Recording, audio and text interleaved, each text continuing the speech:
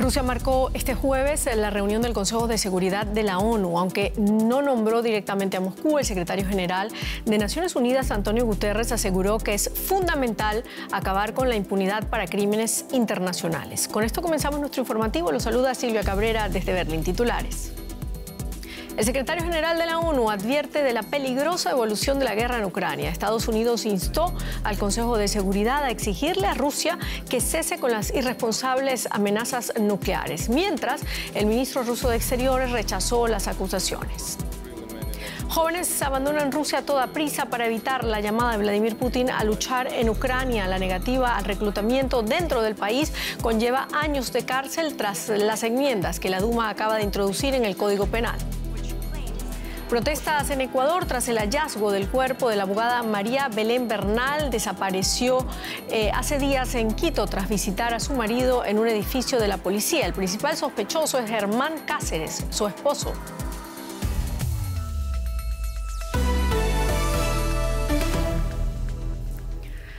Antonio Guterres ha vuelto a hablar este jueves y lo hizo en el Consejo de Seguridad de la ONU. Destacó que el conflicto en Ucrania no da señales de ceder y afirma que las investigaciones de la ONU sobre derechos humanos muestran un catálogo de crueldad, ejecuciones sumarias, violencia sexual, tortura y otros tratos inhumanos. Ucrania y Rusia manifiestan su apoyo y desconfianza respectivamente sobre la actuación de la Corte Penal Internacional. Todo esto mientras aumenta la polarización internacional y de apoyo unánime a Kiev. La comunidad internacional cerró filas ante los intentos de Rusia de intensificar la guerra en Ucrania. Estados Unidos culpó directamente al presidente ruso Vladimir Putin. Un solo hombre quiso esta guerra. Un solo hombre puede terminarla, porque si Rusia deja de luchar, es el fin de la guerra. Si Ucrania deja de luchar, es el fin de Ucrania. El secretario general de la ONU se sumó a la condena cargando contra Putin por sus amenazas veladas de utilizar armas nucleares. Lo dije y lo repito, esta guerra sin sentido tiene un potencial ilimitado para causar un daño terrible en Ucrania y en todo el mundo. La idea de un conflicto nuclear antes impensable se ha convertido en un tema de debate. Esto en sí mismo es totalmente inaceptable. Todos los estados con armas nucleares deberían volver a comprometerse con la no utilización y la eliminación progresiva de ese arsenal. Otros aliados occidentales como Francia dijeron que Rusia no puede quedar impune. Pero todos saben que las declaraciones tajantes tienen poco impacto en el campo de batalla. Las palabras de condena no detendrán al ejército ruso. Lo que puede detenerlos es el ejército ucraniano equipado con armas modernas aportadas por nuestros socios. Moscú responsabiliza al apoyo militar de Occidente de prolongar la guerra. Especialmente cínica es la posición de los estados que están armando a Ucrania. El objetivo es obvio, ni siquiera lo esconden alargar la lucha durante el mayor tiempo posible pese a la destrucción y a las víctimas para desgastar y debilitar a Rusia. No se castiga al bloque occidental por alimentar este conflicto. Como es lógico, ustedes no se castigarán a sí mismos, señores. El veto de Rusia en el Consejo de Seguridad hace improbable cualquier acción de la ONU en este asunto. Y ampliamos ahora la información con el periodista José Díaz Briceño en Estados Unidos, en Washington. José, más allá de poder dirigir las críticas directamente al jefe de la diplomacia rusa, ¿qué alcance tiene esta reunión? Sobre todo porque Rusia tiene derecho de veto allí en el Consejo de Seguridad. La reunión de hoy eh, se esperaba, eh, justo como ocurrió, eh, sin una resolución que pudiera ser aprobada, pues estaba programada para hacer una reunión específica sobre los potenciales crímenes de guerra cometidos en Ucrania desde la invasión rusa en febrero de este año. Esto a iniciativa de la presidencia francesa del Consejo. funcionarios del Departamento de Estado de Estados Unidos sabían que el discurso del secretario de Estado Anthony Blinken frente a sus homólogos ministros ministros de Exteriores presentes en el salón, no necesariamente podría hacer un cambio de los hechos de esta invasión. Y sin embargo buscaba exponer en su discurso los horrores que de acuerdo con la diplomacia estadounidense Rusia ha sometido a Ucrania. Y también más importante mostrar su solidaridad asegurando que en este momento si Rusia decide parar de eh, hacer la guerra eh, básicamente esta se terminaría. Y pero si Ucrania parar eh, la guerra la propia existencia de la nación podría desaparecer palabras contundentes del jefe de la diplomacia estadounidense en una sesión donde Lavrov no estuvo presente para escuchar sus acusaciones. Así es. Bueno, ¿y hasta dónde puede llegar, José, la respuesta de Estados Unidos justo ahora que el ministro ruso de Exteriores eh, los acusa abiertamente de estar involucrados en el conflicto? Estados Unidos sigue firmemente al lado de Ucrania eh, con eh, un apoyo tanto militar como económico eh, sumamente alto hasta el momento, más de 15.800 millones de dólares tan solo en asuntos de seguridad y militares han sido enviados desde Estados Unidos hacia Kiev y Estados Unidos está considerando ya una nueva propuesta de ley para enviar 12 mil millones de dólares en ayuda en los próximos meses hacia esa nación. todo esto habla de algo que expresó el, secretario Blinken eh, durante su participación hoy, que se siente en algún eh, tipo de momento en el que, dadas las victorias eh, de los ucranianos en el este, en algunas ciudades de últimas semanas, se pudiera estar viendo una debilidad rusa y justamente están comprometidos a continuar proporcionando ayuda militar y económica. En Estados Unidos, sin embargo, el, el temperamento, el modo de la población sobre apoyar a Ucrania ha bajado desde agosto de 51% a 40% y esto dado los tiempos políticos entre republicanos y demócratas aquí. Muchísimas gracias, José Díaz Briceño desde Washington.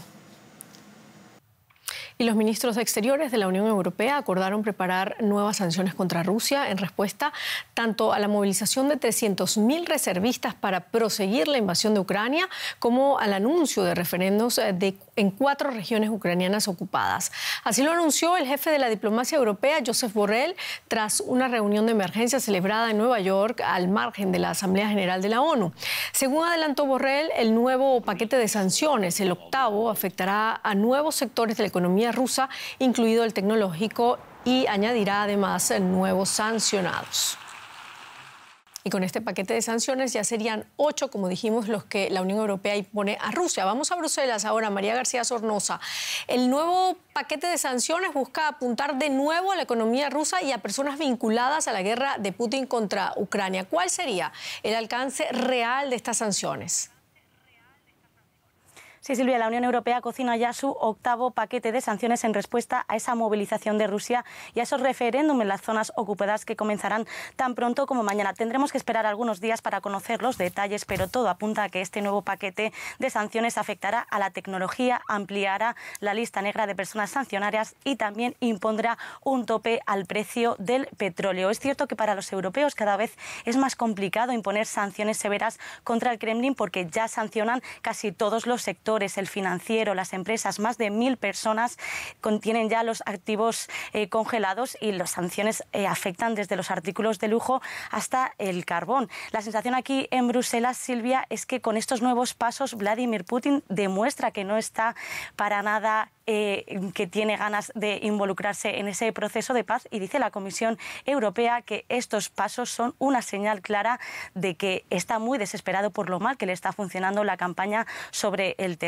Dice Josep Borrell, el jefe de la diplomacia europea, que es muy cínico que Vladimir Putin llame a esta movilización, la primera desde la Segunda Guerra Mundial, precisamente durante el Día Internacional para la Paz. María, el nuevo paquete de sanciones podría formalizarse en octubre cuando se reúnen allá en Bruselas los ministros de Exteriores de los Estados miembros. ¿Cuán seguro es que salga esto adelante? Y lo pregunto porque Hungría ha vuelto a pronunciarse en contra de estas sanciones.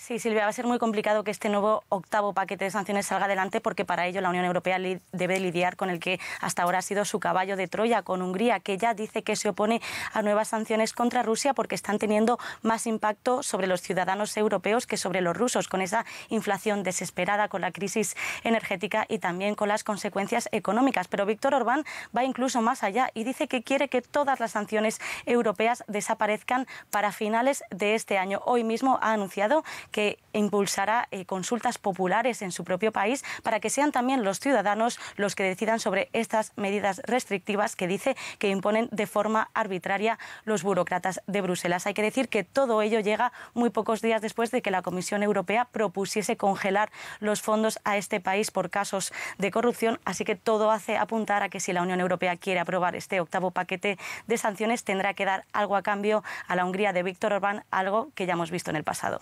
Pues ya veremos con esta reunión en octubre. Gracias María García Sornosa desde Bruselas. Y miles de personas están saliendo de Rusia de manera voluntaria un día después de la movilización parcial anunciada por Vladimir Putin, una decisión que ya enfrenta una creciente oposición dentro del país. La policía ha detenido a más de mil personas que se manifestaban contra la llamada de reservistas. Los vuelos para salir de Rusia también se están agotando y muchos de los que se apresuran a salir temen que sea su última oportunidad. Aterrizaje en Estambul justo un día después de que Rusia anunciara la movilización parcial. Muchos hombres rusos se están subiendo a cualquier vuelo que pueda alejarlos de Moscú. Turquía, donde los pasajeros rusos no necesitan visado para entrar, es una de las opciones preferidas. La movilización es una de las razones por las que estoy aquí. No creo que haya muchos rusos que quieran luchar y ser reclutados para ir al ejército. Eso es todo. A Serbia, donde los visitantes rusos también pueden entrar sin visado para estancias cortas, también llegaron vuelos repletos desde Moscú. Fruto del pánico, los pasajes de ida a Turquía, Serbia, Armenia y Azerbaiyán se han agotado por completo. El Kremlin resta importancia a los informes sobre el éxodo masivo de jóvenes, alegando que se está exagerando la situación. Pero los que llegan a Serbia dicen que el miedo a la movilización es real. La guerra es algo horrible, así que es normal tener miedo a la muerte y a la guerra. Es duro para todos, es una situación difícil. En la frontera terrestre con Finlandia, una larga cola de coches aguarda para cruzar. Finlandia es ya el último vecino de Rusia en la Unión Europea que aún permite la entrada de los rusos con visado Schengen pero también se prepara para limitarla o prohibirla, dejando aún menos opciones de salida a quienes decidan huir del reclutamiento. Bueno, y en la economía también están muy pendientes de lo que ocurre entre Rusia y Ucrania. Rosa Casals, ¿Qué tal, Silvia? Sí, porque además de las graves pérdidas humanas, pues una guerra es muy cara. Y el coste para Ucrania de la invasión rusa desencadenada el 24 de febrero se estima en cerca de un billón de dólares, según dijo el jueves en Berlín un consejero de Volodymyr Zelensky. Además de los daños y el coste de la resistencia militar a la invasión rusa, Kiev ya no puede contar con los ingresos fiscales, destacó el asesor económico del presidente ucraniano Ole Kustenko en una conferencia organizada por el Consejo Alemán de Asuntos Internacionales en Berlín. Para el año en curso, las autoridades ucranianas esperan una reducción del PIB de entre 35 y 40%, es decir, la mayor disminución desde la caída de la Unión Soviética. En agosto, Ucrania pidió al FMI un nuevo programa de ayuda que debía formar parte de un esfuerzo internacional más amplio dirigido por Estados Unidos y la Unión Europea. Y antes le preguntábamos a nuestra compañera en la Bolsa de Frankfurt cuánto dinero se necesitaría para reconstruir Ucrania si la reconstrucción empezara hoy mismo. Y esto es lo que nos decía. Si la Comisión Europea y el Banco Mundial estimaron en un reciente informe que si la reconstrucción de Ucrania comenzara en este momento, pues costaría aproximadamente 350 mil millones de dólares. Esta suma es una vez y media el PIB de Ucrania del año 2021 y un tercio pues, de esa cantidad se deberá utilizar para las necesidades más urgentes de los próximos años, como infraestructura social, el transporte y una posible escasez de energía en este invierno.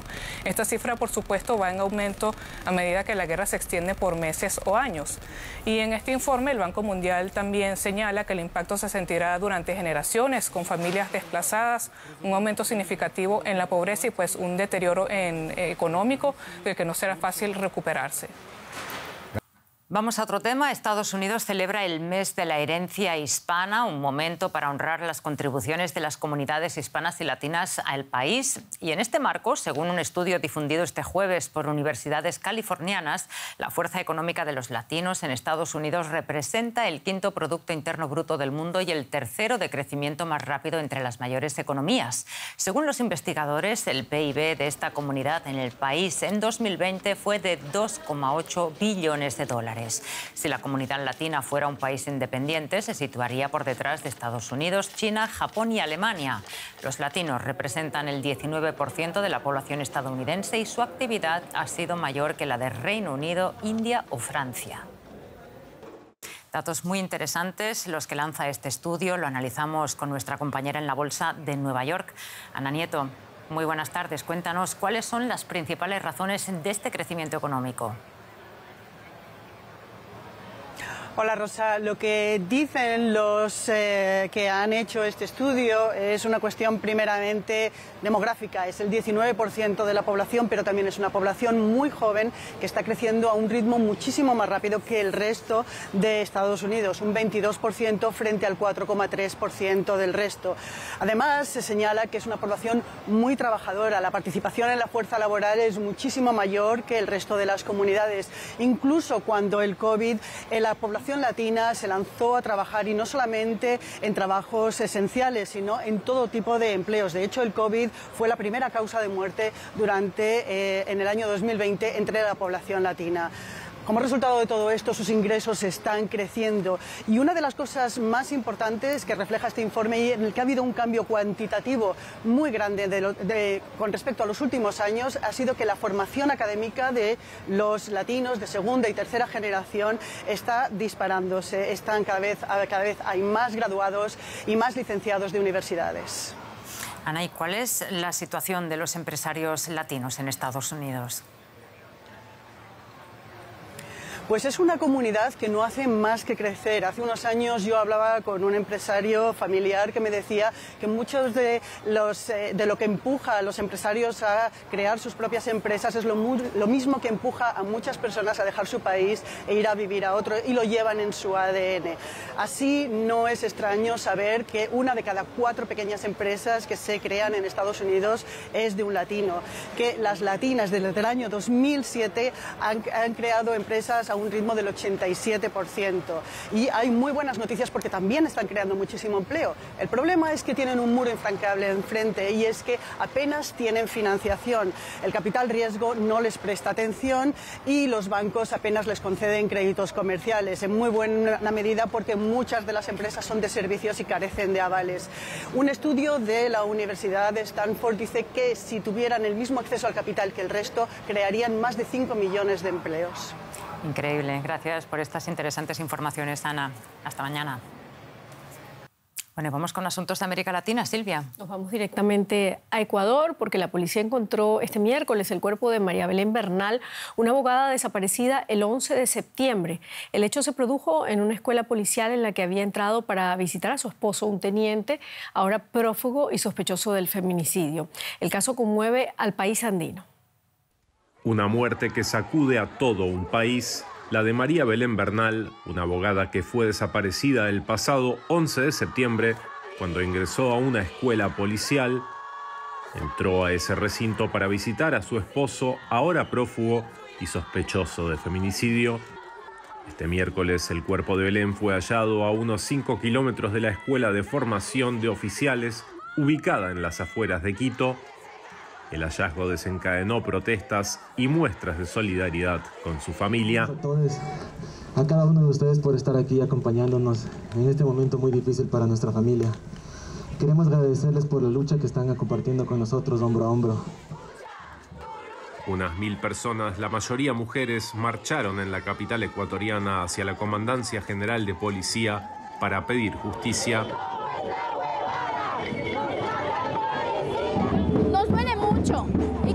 que esta muerte nos, nos levante a todas, porque hay mucho femicidio y no hace nada el gobierno, las leyes están muy por, el, por encima de todos, es a favor del delincuente. El presidente Guillermo Lazo, quien se encuentra en Estados Unidos, se pronunció por Twitter.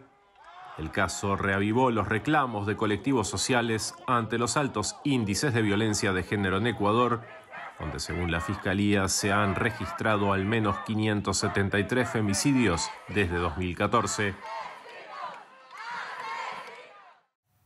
El caso de María Belén Bernal reaviva los reclamos de colectivos sociales ante los altos índices de violencia de género en Ecuador. De esto hablamos ahora con Daniela Puyas del Centro Ecuatoriano para la Promoción y Acción de la Mujer. Señora Puyas, ¿qué tan grave es la situación en Ecuador con respecto a la violencia de género? Gracias por la invitación. Bueno, en este sentido es importante manifestar que siete de cada diez mujeres en nuestro país han sufrido algún tipo de violencia. La situación en nuestro país es sumamente grave, no solamente por lo que conlleva y lo que pudimos ver ahora con María Belén eh, Bernal, sino porque la situación en realidad eh, con la mujer, para la mujer, con política pública direccionada, pues cada vez más eh, se encuentra delimitada precisamente por una forma de omisión por parte del gobierno y por parte de incluso mucha de la normalización que tienen de la violencia en nuestro país, que ha denotado una situación demasiado compleja. No solamente tenemos este caso, incluso usted puede ver que dentro de las estadísticas como tal, el 76% de las mujeres que han sufrido violencia señalan que el principal agresor ha sido el esposo, el novio, el enamorado, el conviviente. Y bueno, pues esto se da precisamente por la normalización que hay de la violencia en este país. Es decir, que usted diría que el machismo es una de las principales causas de ese alto índice de feminicidio en Ecuador. Totalmente, claro que sí. El machismo, el patriarcado, la política pública enfocada directamente a no entender desde pequeños o desde pequeñas las libertades que cada uno tenemos como seres humanos. Hay que concebir con claridad qué significa eh, la, situación de políticas públicas direccionada para, la, para el progreso de los derechos humanos. En este caso, nuestro país sumamente atrasado en este sentido.